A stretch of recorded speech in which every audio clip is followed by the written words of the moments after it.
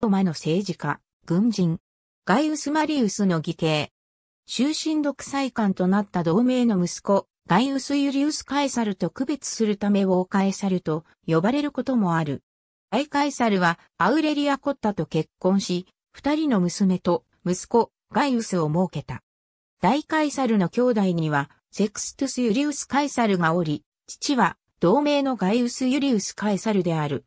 大カエサルの出世キャリアはよく知られているが、その具体的な時期には議論の余地がある。彼の死よりずっと後に執筆された二つのエロギアによると、ケルキナの長官、トリブヌスミリトゥム、クアエストル、プラエトル、アシア属州総督を歴任している。それぞれに任じられた具体的な日付は分かっていない。ケルキナはおそらく紀元前103年時点ではガイウス・マリウスのものであった。